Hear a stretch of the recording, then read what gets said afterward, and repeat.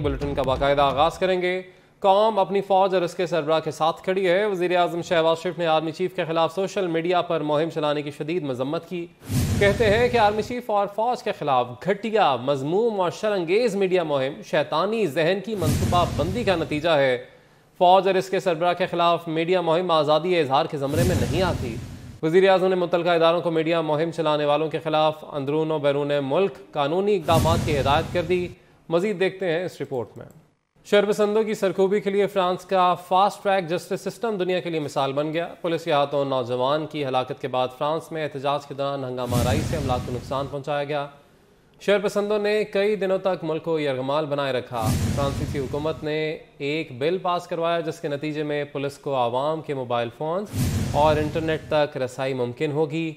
अब तक छब्बीस मुलजमान को फास्ट ट्रैक अदालतों में पेश किया जा चुका। जिनमें से 22 पर फर्द जुर्म आयद की जा चुकी है। शरपसंदों की सरकूबी के लिए फ्रांस का फास्ट ट्रैक जस्टिस सिस्टम दुनिया के लिए मिसाल बन गया। पुलिस के हाथों नौजवान की हलाकत के बाद फ्रांस में एहतजाज के दौरान हंगामा आरई से अमलाक को नुकसान पहुँचाया गया। शरपसंदों ने कई दिनों तक मुल्क को यरगमाल बनाए रखा। फ्रांसीसी हुकूमत ने एक बिल पास करवाया जिसके नतीजे में पुलिस को आवाम के मोबाइल फ़ोन और इंटरनेट तक अब तक छब्बीस मुलजमान को फास्ट ट्रैक अदालतों में पेश किया जा चुका है। इसी पर बात करेंगे सीनियर तजियाकार सलीम बुखारी साहब ने हमें ज्वाइन किया है।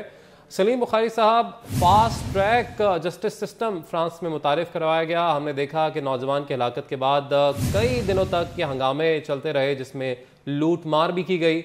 मगर अब जो है, ये बिल भी पास पाँव पे करवाया गया है, जिसमें मोबाइल डाटा और इंटरनेट डाटा तक भी एक्सेस जो है वो इंतज़ामिया को दी जाएगी, पुलिस को दी जाएगी। और बड़ा फास्ट ट्रैक तरीके से फ़र्द जुर्म भी आयद की जा रही है। आपको लगता है कि ऐसा ही कोई निज़ाम पाकिस्तान में भी लाने की ज़रूरत है? कि ये फ्रांस वाहद मिसाल नहीं है। फ्रांस में तो जो कुछ हुआ वो हमारी आँखों के सामने है और बहुत ही हालिया तारीख है। आप जरा चलें जो ट्रंप के होते हुए अमेरिका में हुआ था। क्या कैपिटल हिल पर चढ़ दौड़ने वालों के खिलाफ मुकदमा कायम नहीं हुए? क्या उन्हें सजाएँ नहीं मिली थी बीस साल की? आप आ जाए मदीना मुनवरा में, जो कुछ हुआ था आपको याद नहीं है? क्या उन नौ लोगों को सजा नहीं हुई थी?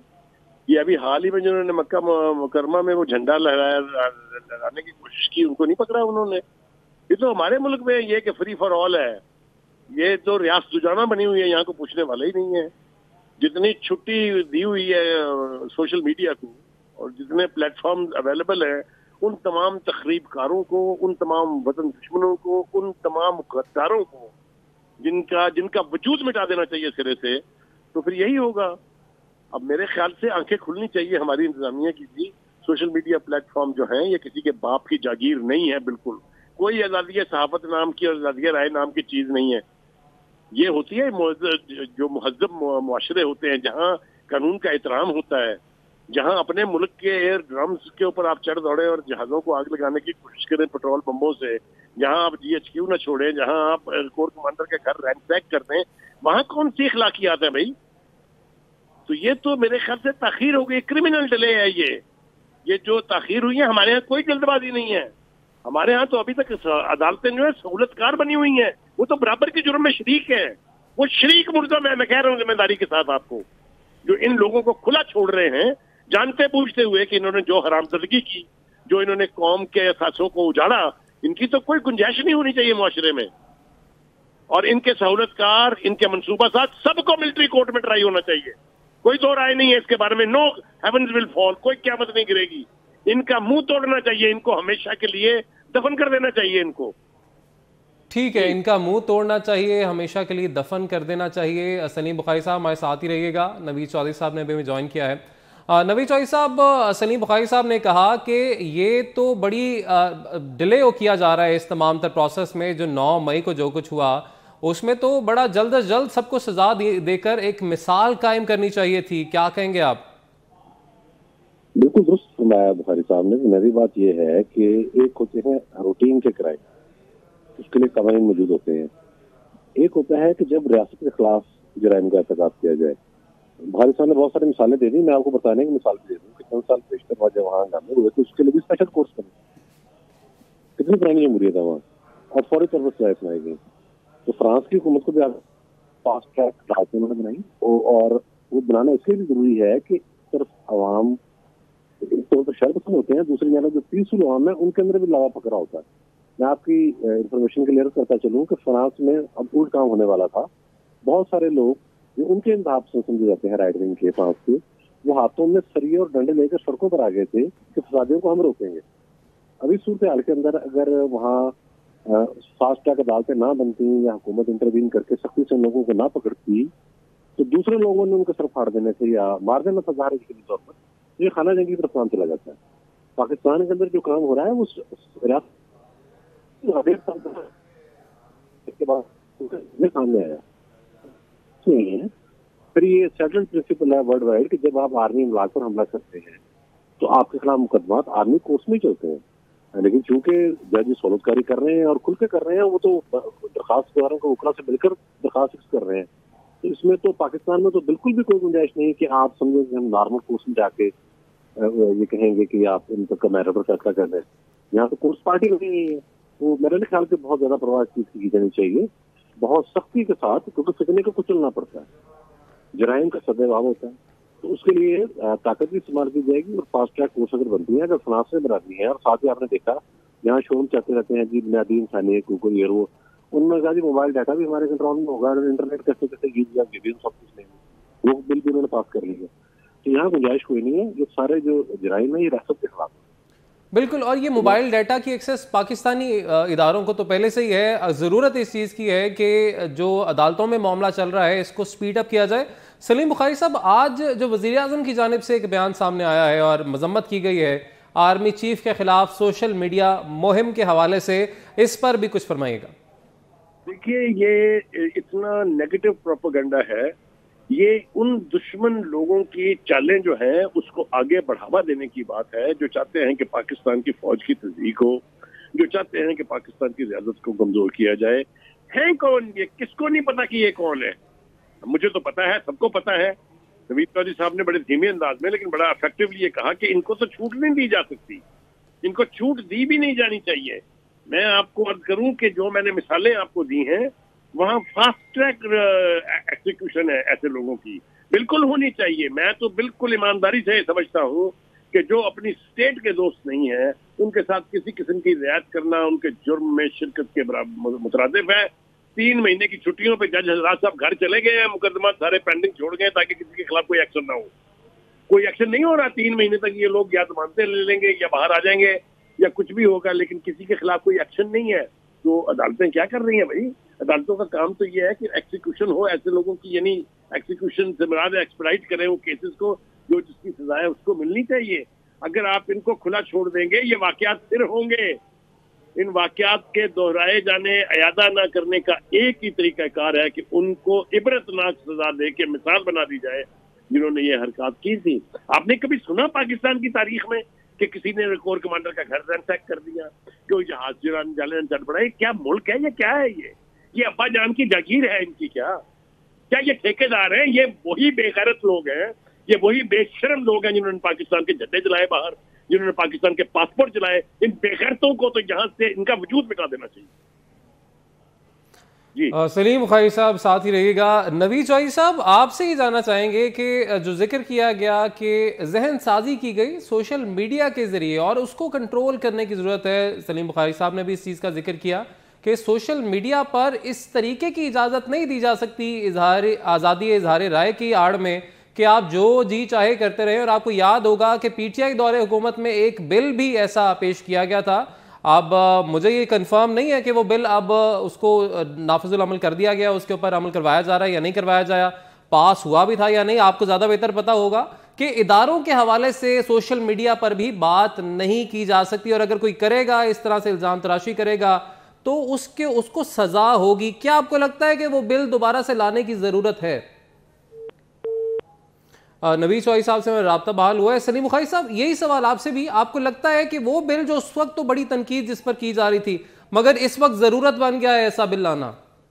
बिल्कुल ठीक कहा आपने। बिल्कुल आपकी बात में बहुत वज़न है कि वो कवानीन जिससे जो सोशल मीडिया है, उसको रेगुलेट किया जाए। मैं कंट्रोल करने का लफ्ज जानबूझ के इस्तेमाल नहीं कर रहा मैं जर्नलिस्ट हूँ।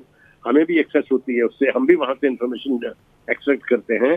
लेकिन इसको रेगुलेट करने की ज़रूर ज़रूर है। ये नहीं है कि एक एक हज़ार अकाउंट आपने जाली नामों के साथ खोला हुआ है और आप उनको सरकार के पैसे देते रहे हैं। केपी के की गवर्नमेंट उनको बतालीस हज़ार लोगों को पैसे देती रही, शर्म आनी चाहिए इनको। और उनसे कराते क्या रहे हैं? वतन दुश्मनी, मुल्क दुश्मनी, रियासत के खिलाफ हमला आवरी ये सब कुछ करने वालों को तो छोड़ना नहीं चाहिए बिल्कुल। मैं आपको ईमानदारी से कह रहा हूँ। और उस कानून को और ज़्यादा मज़बूत बना के उसको नाफज करना चाहिए फिल फॉर नाफज करना चाहिए। कुछ नहीं होता नो हेवन विल फॉल। अगर आप इस सोशल मीडिया को जो मादर पिदर आज़ाद है अगर आप रेगुलेट कर लेंगे पूरी दुनिया में ये हुआ हुआ है। बड़े बड़े ममालिक में इसकी मिसालें हैं। मैं और नवीद चौधरी साहब अभी चाइना से होके आए हैं। मैं इंटरनेट तक एक्सेस हासिल करने का पूछ लें इनसे कि क्या सूरत हाल बनती है वहाँ। तो कोई नहीं हुआ। No heaven fallen. कोई कौम बाहर निकल के नहीं आई सड़कों के ऊपर। तो ये रेगुलेट होना चाहिए। ठीक है, इसकी रेगुलेशन सोशल मीडिया के खास तौर पे बहुत ज़रूरी है। सीनियर तजीकार सलीम बुखारी साहब हमारे साथ मौजूद थे। नवीद चौधरी साहब भी इस तमाम तर मामले पर अपनी राय दे रहे थे। आप दोनों का बहुत शुक्रिया। पीटीआई का हिमायती पाकिस्तान हाई कमीशन को नुकसान पहुँचाने का मुजरिम करार। इक्यावन साल आमिर वसीम चौधरी ने चेयरमैन पीटीआई को गिरफ्तारी पर एहतजाज करते हुए 18 मई को लंदन में पाकिस्तानी हाई कमीशन को नुकसान पहुँचाया। 18 मई की रात आमिर वसीम चौधरी हाई कमीशन के सामने एहतजाज के दौरान हकीकी आज़ादी के अलावा पाकिस्तानी हुकूमत और मुख्तलिफ़ इदारों के खिलाफ नारे भी लगाता रहा। पीटीआई के हिमायती आमिर वसीम चौधरी ने बिल्डिंग में दाखिल होने की कोशिश की और एक खिड़की तोड़ दी थी। इसने बिल्डिंग में मौजूद सिफारती अमले को भी गालियाँ दी। वेस्टमिंस्टर मजिस्ट्रेट्स कोर्ट में आमिर वसीम चौधरी ने जुर्म से इनकार किया, लेकिन शवाहद देखने के बाद जुर्म तस्लीम कर लिया। अदालत ने आमिर वसीम चौधरी को पाकिस्तानी हाई कमीशन को पहुँचाए गए नुकसान का अजाला करने का हुक्म दिया है।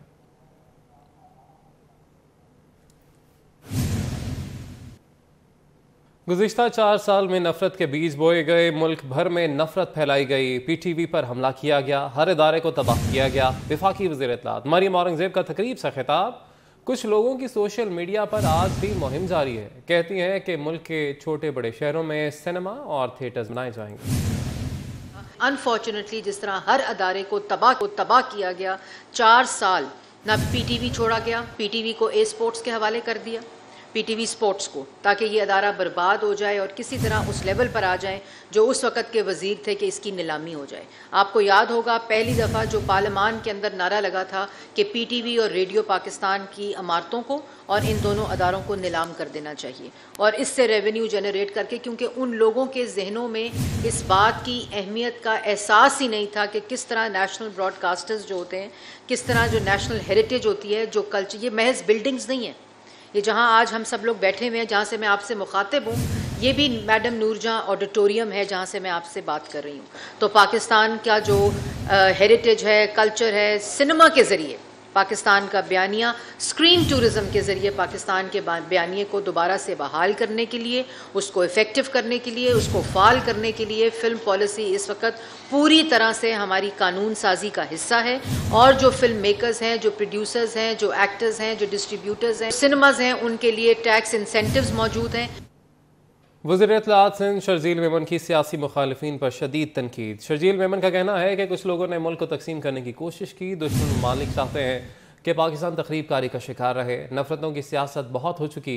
हम लोगों को सोशल मीडिया पर बदतमीज़ी करना नहीं सिखाएँगे। कराची में प्रेस कॉन्फ्रेंस में शर्जील मेमन ने कहा कि मुल्क का कीमती वक्त लड़ाई झगड़ों और साजिशों में गुजार दिया गया। पीपल्स पार्टी की लीडरशिप मफामत का पैगाम देती है अब बहुत हो गई कि हम सिर्फ़ इल्ज़ाम इल्ज़ाम तराशियाँ, लड़ाइयाँ, झगड़े, पूरे मुल्क को हमने पूरा अपना वक्त, कीमती वक्त हमने आपसी लड़ाइयों में गुजारा है इस मुल्क ने। इस मुल्क का जो भी कीमती वक्त था, वो हमने साजिशों में गुजारा या आपसी लड़ाइयों में गुजारा। अब बहुत हो गई कि हम सिर्फ़ इल्ज़ाम तराशियाँ, लड़ाइयाँ, झगड़े, पूरे मुल्क को हमने पूरा अपना वक्त, कीमती वक्त हमने आपसी लड़ाइयों में गुजारा है इस मुल्क इस मुल्क का जो भी कीमती वक्त था, वो हमने साजिशों में गुजारा या आपसी लड़ाइयों में गुजारा।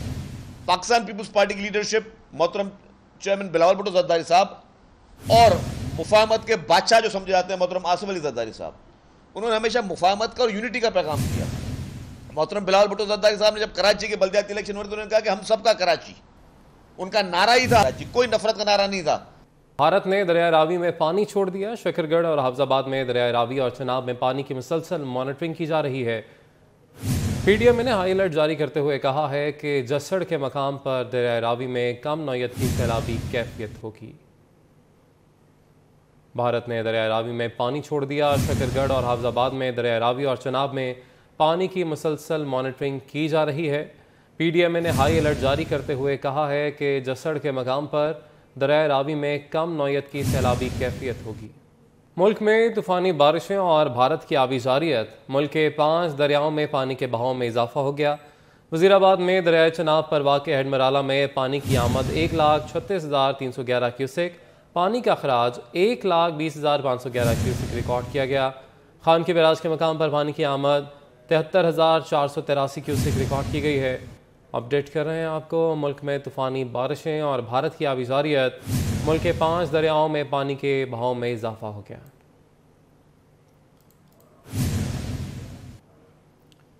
वज़ीर अला पंजाब मोहसिन नकवी का कहना है कि सूबे में कहीं भी सैलाब का कोई ख़तरा नहीं है। भारत की जानब से गुजशत साल भी इतना ही पानी छोड़ा गया था। सूबाई और मकामी इंतजामिया सूरत हाल पर नज़र रखे हुए है। दरिया रावी के दौरे पर मीडिया से गुफ्तु में वजी अला मोहसिन नकवी ने कहा कि दरिया की हदूद में बनने वाली तमीरत के खिलाफ ऑपरेशन किया जाएगा। क्लियर करना ज़रूरी है कि कि अभी कोई ऐसा सैलाब हमारे पंजाब में कहीं पे भी किसी भी जगह पे नहीं आ रहा है ना है। पिछले साल भी एग्जैक्टली इसी तरह इत, तकरीबन इतना ही पानी छोड़ा था और जब वो लाहौर पहुँचा था तो वो थर्टी थाउज़ेंड इकतीस हज़ार। तक पहुँचा था इस पॉइंट पे। दो महीने अगले इम्पोर्टेंट हैं। मानसून एक्चुअल आना है अभी उसकी बारिशें और उसके पहले भी बारिशें हैं। अब जो जो मुमकिन होगा हम इंशाल्लाह इसको क्लियर कराएँगे। क्योंकि अब होना क्या है कि जो दरिया के अंदर लोग आके अपने घर बना गए, उसके लिए उनके घर तोड़ने पड़ेंगे या उनको वहाँ से निकालना पड़ेगा। वो ये हल है।